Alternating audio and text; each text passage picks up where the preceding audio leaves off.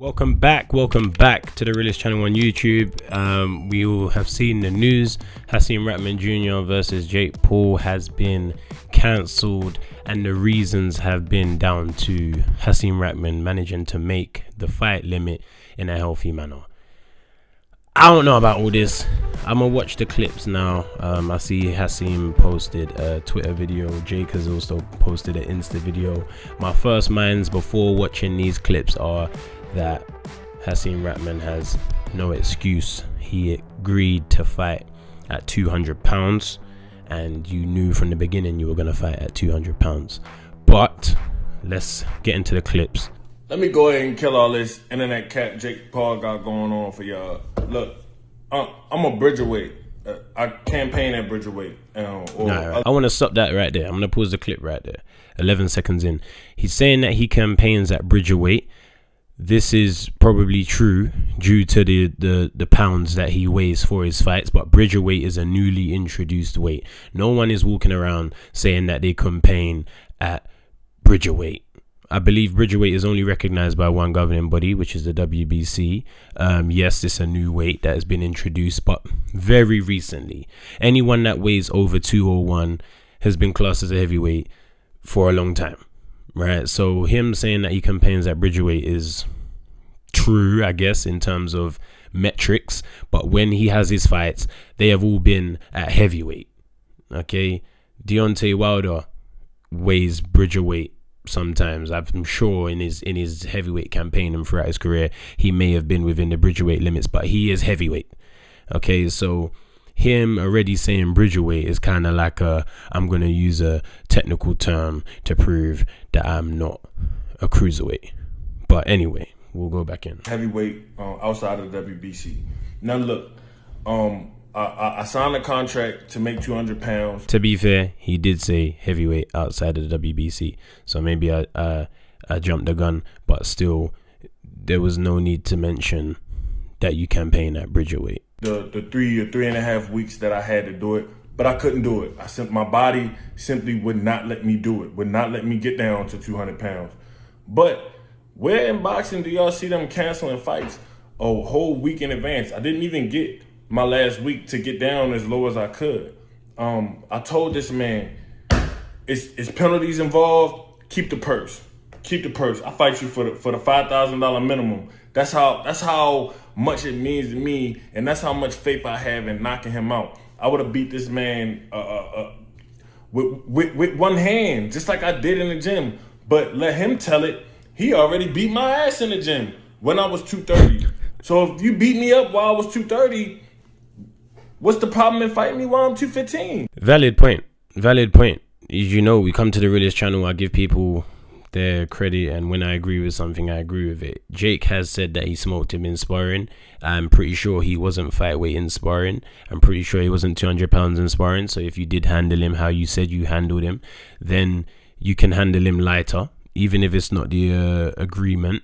If you was that confident that you you know you smoked him at a heavier weight, uh, than what he's going to step in the ring at next week or he was going to, then it shouldn't be so much of a um, a big deal because you've you've claimed that you've already done it whilst he was heavier. A lot of fighters do crash weight in the final week of a fight to make fight weight, and we see it a lot in MMA as well. We see a lot people crashing weight overnight because they drain their bodies. It's not healthy. It's not good for the fighters, and the New York State Athletic Commission are obviously trying to avoid that.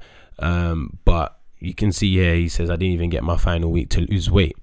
With that being said, you were informed when you signed the agreement and the commission that you're working with, the requirements. You knew beforehand that, okay, they're on this losing weight healthy thing. So when so and so comes to check my weight a week before the fight, I better be within this limit because otherwise they're going to know I'm crashing weight off. So it's not like he's oblivious to the fact that the commission want him to lose the weight healthy. And yeah, he didn't. And he said he physically couldn't. But I find that interesting because he was talking at the press conference saying that the weight is fine and he's already on weight and all of these things. So I don't know where things drastically went wrong. What's the problem fighting me at 210? it's it's it's clearly uh uh, uh them not wanting to fight. It's not me pulling out the fight. It's them not wanting to fight. I never said that I didn't want this fight, and and the only thing that I can conclude is that they scared. I mean, they tried to drain me down. I told them, look, I ain't gonna be able to get all the way down to cruiserweight. I mean, it, it was it was a, a astronomical feat in and of itself from the beginning from the beginning when they called me to spar him for, for Anderson Silva, I told them what my weight was. They knew what my weight was, and they knew I was gonna have to lose about a pound a day for 30 days in order to make 200 pounds. Yeah, we know. We know. We know. It's a lot of weight to lose. No one can argue with Hasim and say it's not a lot of weight to lose. But you knew this though. Like you signed the thing. Like, why didn't you sign the thing saying that we will fight at 210 then? Or 205. Do you know what I mean? I ain't I haven't seen what Jake has to say about it, but I'm pretty sure he's gonna be saying something similar to me.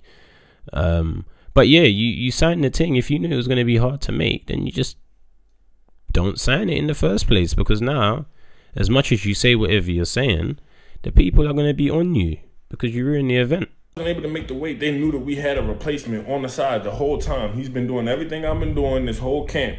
The Muslim boxer, Muslim casing. Hmm who campaigns at cruiserweight, who wouldn't have to have drained himself, who could have saved the show, and Jake Paul could have fought a real boxer, but he don't want to fight a real fighter. He don't want to fight a real fight. Musin, shout out to Musin. Musin does campaign at cruiserweight. Someone that I've done a lot of rounds with. Whilst I was out in Vegas training at the Mayweather gym. You know, good fighter, and he would have been a good replacement um, for Jake. However, that is not who Jake agreed to fight and then and seven days before the fight, if the fight's not happening and it's not his fault, then he doesn't have to fight a replacement, someone that he hasn't had camp for and prepared for. It would be nice for us because we'd still get a spectacle and we'd still see a show go ahead. But from a fighter's perspective and from someone who prepares diligently in camp for an individual and preparing for what you're preparing for, I shouldn't have to say, yeah, fine, I'm just going to fight this guy instead. Uh, but Muslim's a good fighter, and I'm sure that's someone Jake would want to have a proper, a full training camp for, and tailored, tailored to, um, so he can give himself the best possible opportunity. And that's what Jake does, and that's what he should do. Boxing's a selfish game. Boxing is not a game that looks out for you because you looked out for the sport. You got to look out for yourself, and he wants to give himself the best possible opportunity to win, hence why the weight was set at what it was set at. And Hasim should have known that from the jump and not signed to fight Jake at that weight, knowing that it gives Jake the best possible opportunity and it doesn't give him the best possible opportunity. We don't want to hear a week before that you've realized that and then try and say, oh, it's because he doesn't want the smoke. I don't think it, I don't think it makes sense in it personally. But let's get into part two of the clip. He don't want to fight a real fight. He wanted to drain me down and, and, and fight a shell of me, which I'm not going to allow him to do. Now they didn't they didn't move the goalposts and uh, move the finish line closer and have me weigh in all these extra days early and and and, and then pull a plug on the fight like like we don't want to fight. My team's 100% still wanted to fight, still ready, willing, and, and, and able to, to knock out Jake Paul on August 6th. So y'all blame your boy Jake Paul for this fight not happening. No, no, no, no, no, no, no. 38 seconds into the clip, we're not blaming Jake Paul. We're not. Because he gave you the agreement and he done his side. I'm pretty sure he weighs what he needs to weigh the 200 pound limit because this guy campaigns at 190 most of the time anyway so he's probably gassed he could eat a bit more and whatnot. This is not his fault. This is Hasim's fault. Because he's clocking too late. Oh they want to boil me down. They want me to be a show of myself. You should have been known that from you read the contract and it said 200 you should have been oh 200 trying to make me a show of myself. Can i do it or can i not? No i can't do it so let's make it 210 that should have been done from the jump and especially when you're having press conferences and you're talking about how weight was fine and stuff, it's just very contradicting to release a video like this the week before saying that it was physically impossible for you to do it. So you was basically just chatting at the press conference to make it seem like everything is okay, and it wasn't. With me or my team, we let them know what the real was, and Jake Paul scared to to to make the fight. All he got to do is say, okay, I beat you up at 230, I beat you up at 215. I'm still coming down in weight, or uh, I beat you up at 210. I'm still I'm still coming down in weight, but he don't want to do it because he don't want a real competitive fight. He wanted me to be a, a, a shell of myself when we got in there and got in that ring. Hasim can have a point in saying that Jake doesn't want to fight because he if he beat me up at 230 in sparring and I'm weighing less now, he should fight me anyway. Yeah, that's fair, but that wasn't the agreement. That wasn't the agreement. Just because you can do something doesn't mean you should. And I feel like that's the approach Jake's taking. He realizes what he's bringing to the table. He realizes that you know this is big money, big big fight, big main event, Madison Square Garden because of me. So he feels like he's done his part, and Hasim should do his part, which he actually signed and agreed to do. But yeah, you can say, oh, why don't you just fight him anyway? Since he said he banged him up heavier, but it weren't the agreement. It wasn't the agreement, so it is what it is. But yeah, I don't know.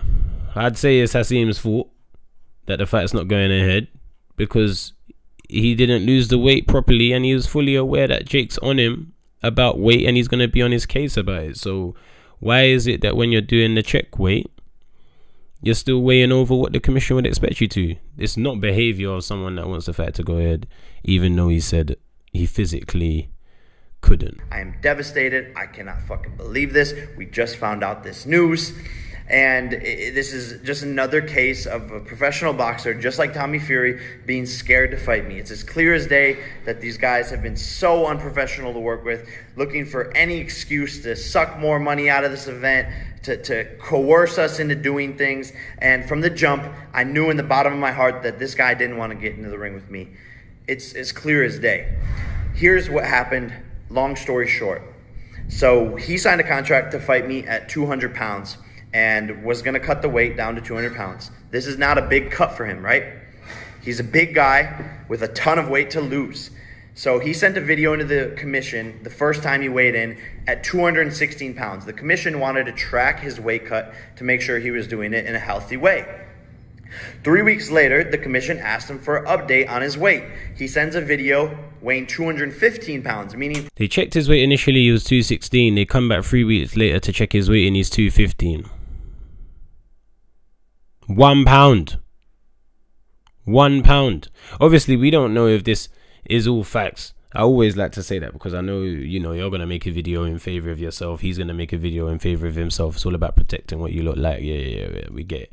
But the fight's not going ahead because of weight issues. So I'm more inclined to believe what Jake is saying because I know he wanted the fight to go ahead because it affects him more than it affects Hasim, to be honest. But if that is true, that his first weigh-in was 216, then he weighed 215 three weeks later, that is not the behavior of somebody who is trying to lose weight with a commission that's on your case to make a fight happen. It's quite simple. So the commission was like, hey man, you're not cutting the weight properly. We don't want you to lose it all in the last day. We're going to have to change this fight to 205 pounds. My team calls me up. Okay. They're like, hey man, do you want to change? 205? Fair. That's fair. Five pounds more. They're saying that's a healthy weight cut, 10 pounds, which is what? Five and a bit kilos. Yeah, five kilos, two point two pounds in a kilo. So yeah. they want to change the weight to 205 pounds. That's a big difference. You normally fight at 190 pounds. Kilos. Do you want to do the fight still? I said no problem. Let's do it. 205 pounds. He's gonna have. He already has a weight advantage, height advantage, reach advantage, all of these things. But whatever. I know I can still beat his ass at 205 pounds. And that was that. We move forward. And then today, out of nowhere, his team calls and says, Hasim's not going lower than 215 pounds. If the fight's not at 215 pounds, then we're pulling out. My manager goes, fuck you guys. You're not in control of this. We already agreed to five more pounds. He is a big guy, losing 10 pounds. Everyone knows in the sport of boxing that is an easy weight cut. People do that. UFC champions cut 25 pounds overnight to make weight. A 10 pound weight cut for a heavyweight is nothing. This is clearly an excuse. I did see. I said that. Jake would be saying some of the sh- shit that I'm saying. Um, 10 pounds is not a big weight cut. It's not a big weight cut. Many people do it. And if it's a thing that you want to do, you'll do it. Um, well, it's the end of the clip anyway, pretty much. But yeah, you can lose weight, man. You can lose weight, and if the commissioner on your case and you know they're tracking you, then you gotta move according to that. I think the most that I've lost in a day is probably seven pounds. Probably seven pounds, which is about four four kilos.